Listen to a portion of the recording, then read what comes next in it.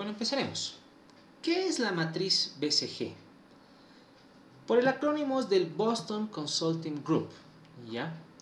Entonces, esta es una matriz que nos permite a nosotros poder identificar el crecimiento que tienen nuestros productos o servicios en el mercado con relación obviamente a la competencia y la participación que nosotros tenemos de estos productos o servicios en el total global del mercado, ¿no? Con respecto a productos similares, idénticos, parecidos. ¿no? Entonces, esta matriz determina cuatro cuadrantes. ¿no? Tenemos el eje vertical, donde está determinado, jóvenes señoritas, por el crecimiento de mercado. Fíjense, ahí está, ¿no? Por el crecimiento de mercado. Y tenemos también el eje horizontal que está determinado por la participación de mercado. ¿Ya? Pueden ver acá que existen variables como bajo y alto. Lo mismo para acá, baja y alta. Entonces lo que nosotros hacemos a través de esta matriz es determinar, por ejemplo, qué productos pertenecen a qué, a qué cuadrante. Este análisis del ejemplo lo tienen ustedes con las leches lácteas PIL, como pueden visualizar en su pantalla. Está realizado esto con la leche PIL ¿no? en su presentación líquida, ¿no? en la bolsita. Y según esto voy a proceder a explicar. ¿no? Aquí están las lechecitas. Tenemos acá cuatro cuadrantes que están determinados por un perro, una incógnita, una estrella y una vaca. ¿no? Empecemos a analizar. Por ejemplo, con el caso de Pil, yo veo que su producto perro es la leche con café. Esto obviamente se determina por medio de índice de ventas, por su, su estado de resultados de la empresa y demás, ¿no? Eh, pero ahora lo vamos a hacer nosotros de forma cualitativa aquí en el curso, justamente con el taller que estamos realizando para realizar la actividad correspondiente. ¿no?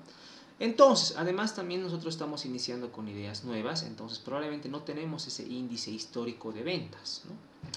Dicho esto, continuemos. Decía que el grupo, en, el, en el primer cuadrante, determino que el producto perro es la leche con café de pil. ¿Por qué? Bueno, es un producto novedoso que han sacado, es un producto nuevo, pero que no tiene mucho crecimiento. Significa que sus ventas se han estancado. Significa que sus ventas son mínimas, no son muy altas. Y no se encuentran en crecimiento, se mantienen unas ventas bajas, ¿no? Por ende tiene una participación también baja. La participación es la cuota de mercado, ¿no? es la relación que yo tengo con respecto a otros productos. ¿Cuántas leches venderá Pil, por ejemplo, con respecto a las leches Pil, con respecto a las leches Delicia? ¿No? Tal vez Delicia tiene un 50% de participación de mercado y el otro 50% lo tiene Pil. O tal vez es, diferente, ¿no? Tal vez Pil tiene un 80% de participación de mercado y el 20% restante están las otras leches, ¿no? La, la cream, puede ser la leche Delicia, etcétera, etcétera, ¿no? Entonces, a través de esta participación yo veo que no participa mucho este, este producto, la leche, y tampoco tiene un crecimiento, y por eso es un producto perro. Y estos productos perros son riesgosos. ¿Por qué son riesgosos? Porque como no tienden a crecer, ¿no? Y su participación es baja, probablemente van a salir del mercado o hay que hacer o hay que tomar decisiones con respecto a este producto, ¿no? ¿Qué hacemos? Eh, hay que sacarlo del mercado, hay que impulsarlo otra vez con promoción, con marketing y demás, ¿no? Nos ayuda a determinar ese tipo de razonamiento. El siguiente, por ejemplo, es un producto incógnita, que es la leche light. ¿Y por qué es incógnita? Porque ha crecido en el mercado, no tiene ventas. Significa que en ventas ha empezado a crecer la leche light, pero porque hay una determinada tendencia, ¿no? una tendencia con respecto al consumo de leches light, con respecto al consumo de, de productos que, que, nos cuidan la salud y demás, ¿no? Pero no sabemos, tal vez esta tendencia cambia o sucede algún factor que pueda hacer que este producto vaya hacia adelante, se vuelva una estrella o se vuelva un perro. Por eso es incógnita, ¿no? Porque está en un estado medio de la línea, ¿no? Entonces no sabemos si se va a volver un producto estrella o va a bajar o se va a volver un producto perro, ¿no? Por el otro lado tenemos el producto estrella.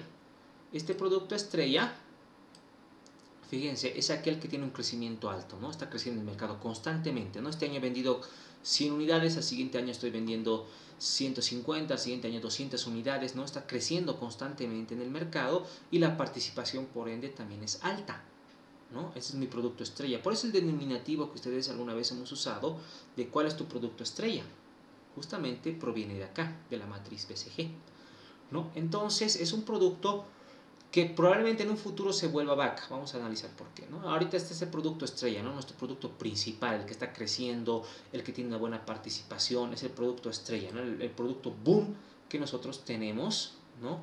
en lo que es eh, la matriz BCG. Después tenemos al producto vaca.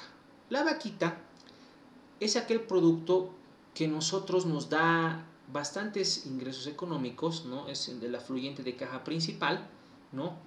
Pero ya no crece en el mercado. Tiene una buena participación, todo el mundo conoce PIL muy bien, pero ya no crece, significa que las ventas siempre son 100 unidades este mes, 100 unidades el siguiente mes, 101 unidades. No está creciendo, ¿no? A diferencia de la otra leche. ¿Se dan cuenta? Se ha mantenido en crecimiento y por eso es bajo.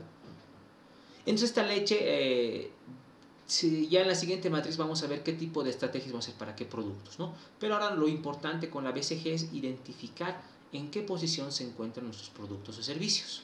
Y esto lo vamos a hacer ahora. Paso a dar las instrucciones.